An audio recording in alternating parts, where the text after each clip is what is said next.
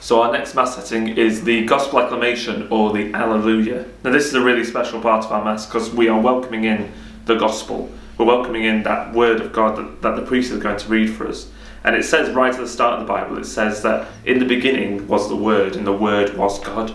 So we believe this is God.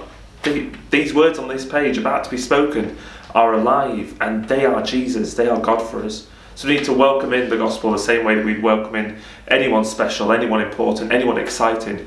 We need to welcome them with joy and happiness, singing our hearts out. So this is our gospel acclamation, and it sounds like this.